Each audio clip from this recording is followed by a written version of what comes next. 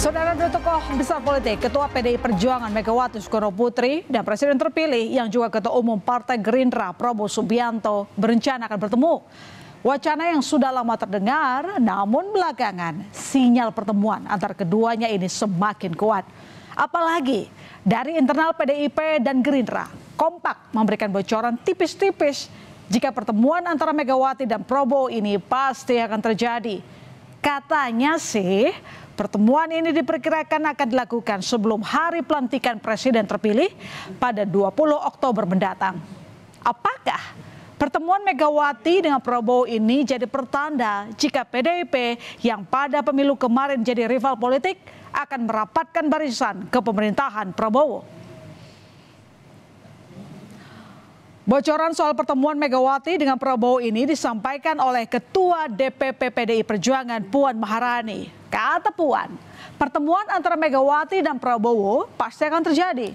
Nah, soal kapan dan di mana masih belum dispil deh.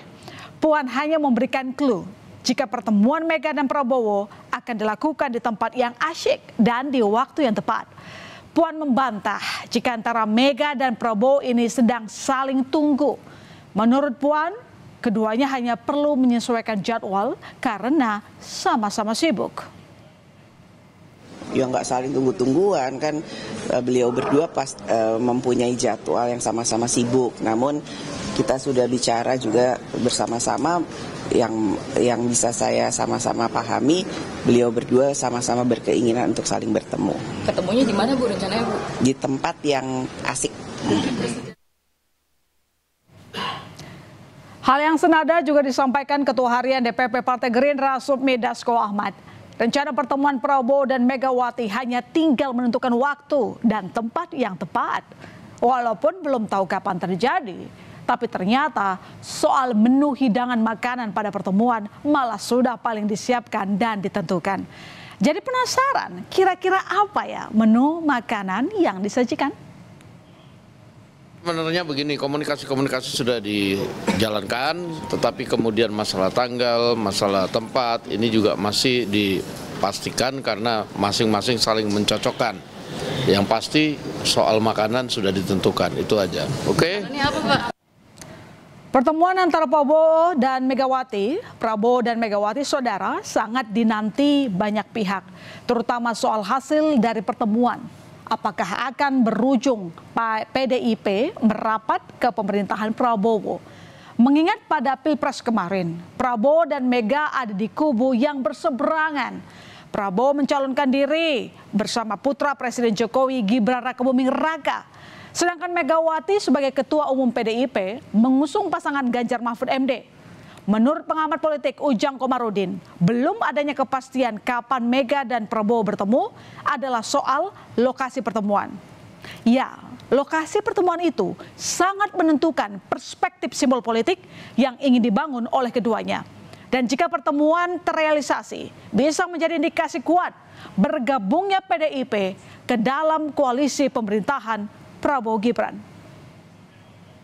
Hal yang mungkin yang menjadi sedikit uh, hambatan adalah soal tempat pertemuan misalkan. Apakah di kandang atau di tandang itu? Apakah di tuan rumah Ibu Megawati ataukah di Pak Prabowo? Karena kita tahu bahwa Ibu Megawati seorang negarawan mantan presiden. Lalu uh, Pak Prabowo juga negarawan presiden terpilih. Tentu uh, keduanya ingin saling menghormati satu sama lain. Saya sih meyakini kemungkinan besar ya PDIP eh, apa namanya bisa masuk eh, ke koalisi Prabowo Gibran entah di awal pemerintahan Prabowo Gibran ataupun di, di tengah jalan nanti. Lalu bagaimana respons Prabowo dan Megawati sendiri terkait wacana pertemuan keduanya? Kalau Prabowo ternyata masih enggan berkomentar banyak. Usai rapat dengan Komisi 1 DPR, Prabowo hanya mengangguk ketika ditanya terkait rencana pertemuan dirinya sebagai presiden terpilih dengan ketum PDIP Megawati.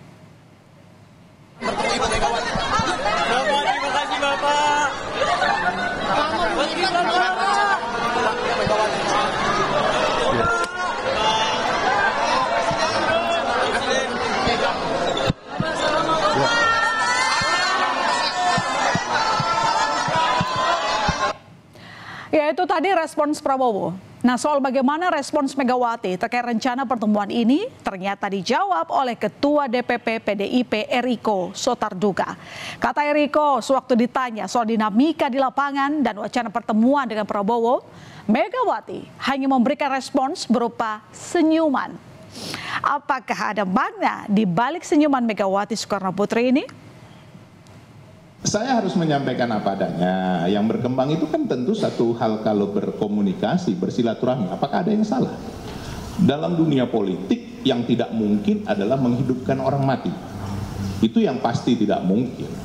Nah, sampai kemarin saya bertemu dengan Ibu Ketua Umum, uh, dengan uh, perkembangan yang ada, beliau tersenyum. Nah, mengenai waktunya, marilah kita tunggu. Kalau waktunya sudah ditentukan, namanya bukan kejutan lagi. Berkali-kali baik dari Gerindra dan PDIP selalu menekankan hubungan antara Megawati Soekarno Putri dan Prabowo Subianto tak pernah ada masalah. Komunikasi keduanya masih terus terjalin meski sempat menjadi rival politik di Pilpres 2024. Megawati bahkan menyampaikan salam kepada Prabowo saat berhalangan hadir di penutupan Rapimnas Partai Gerindra. Bapak Azwar Anas tadi menyampaikan salam dari Ibu Megawati.